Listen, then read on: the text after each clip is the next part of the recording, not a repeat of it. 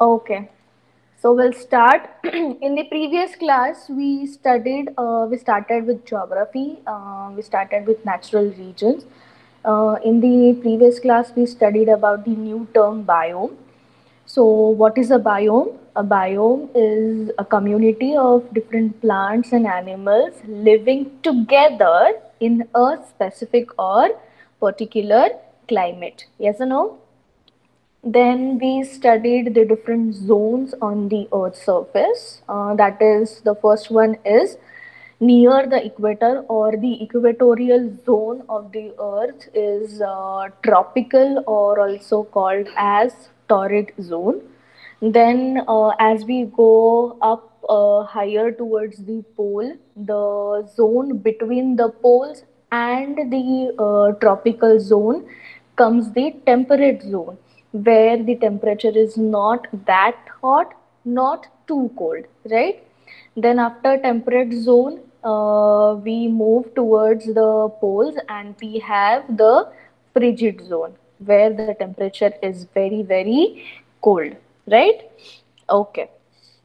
So uh, today uh, and also we studied the tropical evergreen forest in the previous class. We saw the different flora and fauna of tropical evergreen forest. Why tropical evergreen forest? We also saw that uh, why tra- evergreen forests have been uh, said or are called as world's largest pharmacy because one fourth of the medicines that have been discovered or uh, which we use have been discovered uh, there. And also the amazon forest uh, amazon basin is called the lungs of the earth because 20% amazon forest absorb a lot of oxygen and in return it gives a lot a lot of uh, carbon dioxide it absorbs and it gives oxygen okay so, moving towards the next uh, topic of the chapter is we are going to study the tropical deciduous forest. We are still on tropical uh, zone, tropical uh, area, uh, tropical sphere. So, after evergreen forest, we have deciduous forest. Uh, tropical deciduous forest, uh, deciduous means something that eventually falls off. Like uh, in specific period or specific climate, uh, specific time, deciduous means that something falls off. So now we, here we are talking about forest. So obviously we are talking about the leaves. If all leaves of a tree fall off in a certain season, that tree is said to be a deciduous tree. forest in which most of the trees are like this are called deciduous forests. When do the leaves fall off? they fall off in the dry season. Now, you all have seen the weather change and the things happening when the weather changes, especially in the uh, birds and uh, plants, especially when the plant starts changing its uh, colors, uh, color of the leaves. When they start falling, we come to know that season is changing. So, especially leaves fall off in the dry season. How does that help? A lot of water leave, uh, leaves the, the plants through the leaves. So uh, we all know that leaves are the one who produces food for the plant. So we all know what is the mechanism uh, in uh, processing the food uh, and done by the leaves. So we also know that leaf extracts water out uh, the excess water from the plants is extracted from the leaves. You might have seen small drops of water at the edge or the point of the or the end of the leaves. So that is what excess of water is being uh, given out of the plant. So a lot of water leaves the plant through the leaves, which is which we call it as transpiration. You might have heard this term in science. If not, then you can just have a small uh, uh, glimpse of this. Okay. When the leaves fall off, this water loss stops. Plants save their water. So we all know that in dry season, every living thing needs a lot of water. to keep themselves hydrated. So we also know that plants are one of the living beings. So obviously they do need water. So just to save water in the plant, leaves fall off because a lot of water is given out through the leaves itself. So when the leaves fall off, this water loss stops and plants save their water. Since the leaves fall off in a season, sunlight can reach the ground. So there is a lot of plant growth on the forest floor in such forest. Whereas in evergreen forest, we saw, we saw that the canopy of the trees is so thick, the forests are so dense and thick that the sunlight cannot reach the ground floor. But what happens in deciduous forest? It's exactly opposite the leaves fall off in particular season and because of that uh, this a lot of sunlight is being reaching to the ground and a lot of plant growth is happening on the forest floor in fact the forest floor in such forest has quite a thick growth obviously it is gonna be because they uh, they are getting a good sunlight to uh, grow these forests are still in the warm tropical regions, but as these seasons are different, different trees grow here. So according to the season, we all know that there are seasonal plants which we call, right? So deciduous forest or this forest have different types of seasons. So different types of trees grow over here. You have already seen how the structure of the forest is also different from the evergreen forest. The birds, animals and insects here are different too. Hardwood trees like teak, sal, neem and shisham grow here. There is a huge variety of monkeys, deer and large cats. There are many parrots, rodents and ground dwelling birds too. What do you mean by dwelling? The process of digging is called dwelling. These are the places where you find this forest around the world. The one which is highlighted with the neon green, uh, these are the places on the surface of our Ghats. Can you see where we find this deciduous forest, especially in the central regions of the country? and the slopes of eastern and western Ghats. Now you are very well known what are eastern and western Ghats, right? Now moving towards the tropical grasslands. Okay. Now what are grasslands? Some places on earth have huge areas that are mostly covered with tall grasses you might have seen uh, if you have if you are uh, very keen or interested in watching geographical or uh, discovery channels then you might have seen that uh, can any can you tell where do you find grasslands? Yes very good amruta. Very nice. Yes. Where do you find these grasslands? Arnav is saying africa. Yes amruta very good. African savanna nice nice so especially we find grasslands in African continent. Okay, so some places on earth have huge areas that are mostly covered with tall grass. These areas uh, near the equator that are covered are uh, such are which are covered such are tropical grasslands. So you will find grasslands near the equatorial region of the earth okay? In both the hemispheres. We find these grasslands close to the equator in both hemispheres. As you can see a large area of africa is covered with this kind of grass. There it's called the savanna. Such areas are called savanna grasslands. In africa this type of uh, lands or grasslands are called as savanna grasslands these areas have very tall grasses. The grass is 3 to 4 meter tall. That is 10 to 14 feet. Now you can just imagine how tall they are. Are, our height is around 4 to 6 feet, right? So it is 10 to 14 feet. You just can imagine how large they are. There are some trees too, but the trees are not close together like we saw in evergreen and deciduous forest. In grasslands, we do find trees, but they are not close to each other.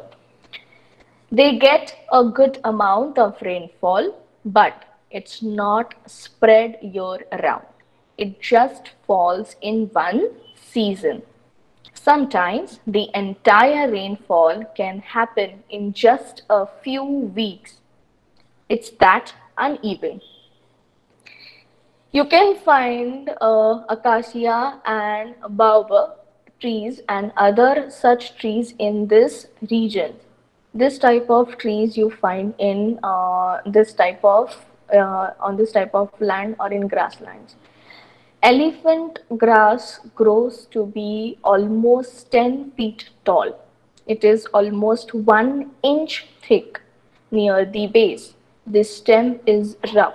That's why it is called as elephant grass. We know that how's the physical structure of an elephant. It's huge, it's thick, it's very strong, right? Similarly, these grasses are 10 feet tall. The stem is very, very thick uh, near the base. It's almost one inch thick and the stem is rough. Do you know these creatures? They have already given the answer. Giraffe and hyena, lion and antelope, cheetah and ostrich, weaver, mouse bird, elephant, zebra, so we all know we are especially uh, we don't know about other continents, but we are very well known about the wildlife of the African continent, especially as we all know that Africa is covered mostly with the grasslands.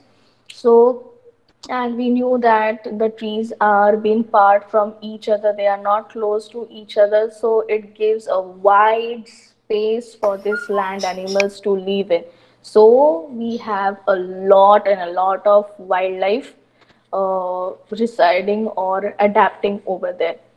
The grasslands receive rain in just one season. So it's quite dry for the rest of the what do animals and birds do then when the season is dry and they get rainfall for just one season? So what do you think what these animals might do? Animals and birds. Can you just imagine for the answer? They migrate.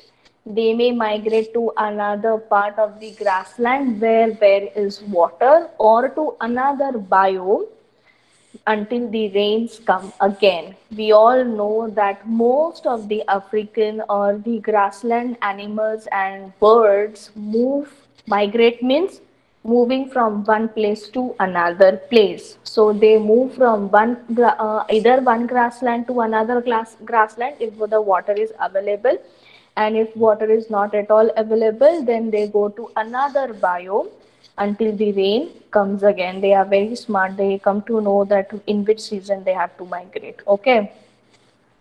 So do not come up with that question. How do they come? How they come to know? Okay. Did you know that baobab, uh, baobab trees store water in their large trunks?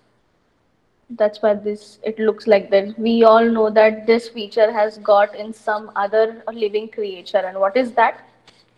The one who stores water not in the trunks but somewhere else. Which, cre which creature it is?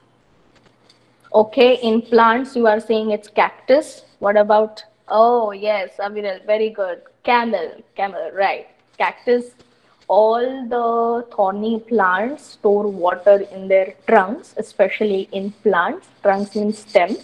And in animal, it is camel, which stores water in its hump.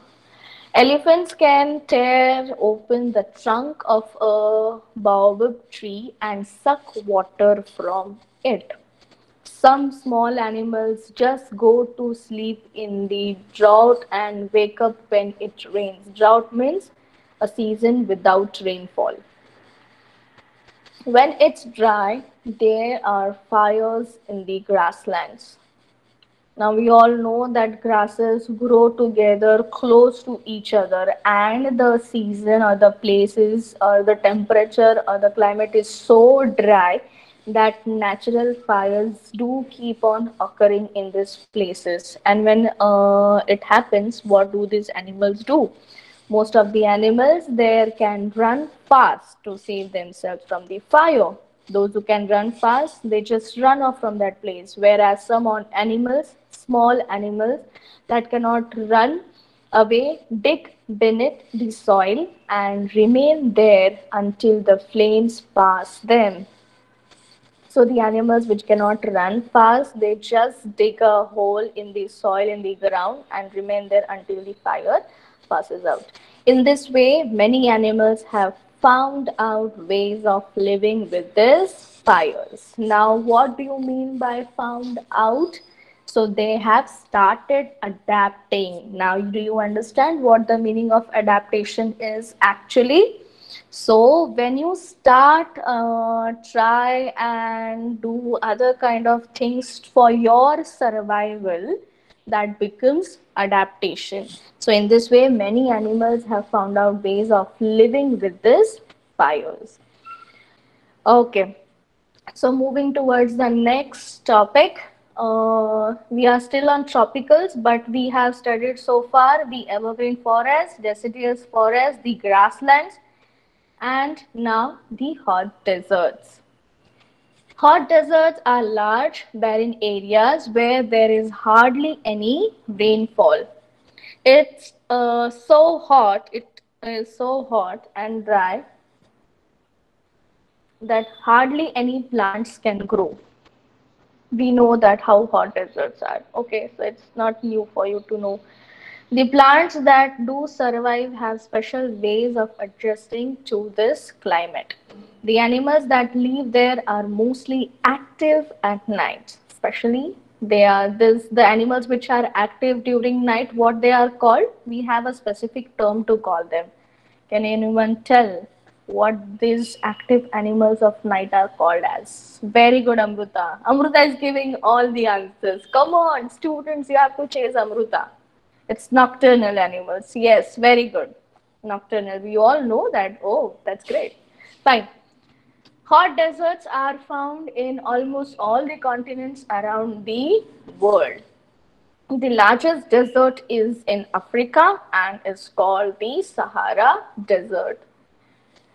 बाकी कोई desert पता हो ना हो Sahara desert सबको पता होता है right the Sahara Desert covers about 11 countries. Students, just see the span of that desert. It covers 11 countries. Even in a satellite image, you can see the Sahara Desert area clearly. This is how it looks if you take a satellite image. Some parts of the desert are covered with sand dunes. most of the Sahara is a rocky plateau. The sand on that is already just don't know. It's hidden behind the slide uh, behind the photo. Okay. As you can see the sahara lies under the subtropical high pressure zone.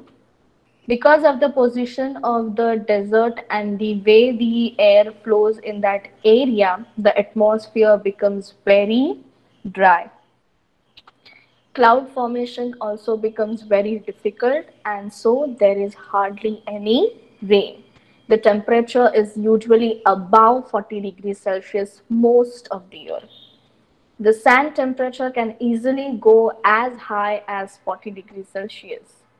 You can find plants, varieties of acacia and palms here. Most shrubs and grasses grow low so that they don't have to face the strong winds. They mostly store water in their thick stems and the leaves are like thorns. You can find many types of foxes here like the fennec fox, pale fox and Rüppell's fox you find different types of fox over here. The addax is a large white antelope that can live for a year without drinking water. So uh, the white large antelope named as addax can live without water for a whole year. The Dorcas gazelle can live for a long time without drinking water too. There are reptiles like monitor lizards and sand vipers too. You can find birds like the African silverbill and the black-faced firefinch. You can find the death stalker scorpion which has dangerous can you imagine what would be the word? Let's consider it as a sting. Okay. People have domesticated the dromedary camels and use them a lot. People have even domesticated goats and sheep in the hot deserts. People wear heavy robes to protect themselves from the heat and wind. They mostly make animal products from leather and hair to sell. Places where water is available are called oases. The human settlements are mostly in such areas. Especially people do not uh, have settlements in desert area, but there are a few places in desert area also where you find water and these places are called as oases and people settle around these places because they have easy access of water. Since oil uh, and minerals have been discovered in the deserts, things are changing in these regions too. You can now see glass buildings, superhighways, and trucks here. The locals have started working in the mines or as guides to tourists. Did you find today's class interesting, student? Was everything clear to you all? If you like our videos, do share them and subscribe to our channel. If you want awesome quizzes, write to us. Keep watching and keep learning with Walnut.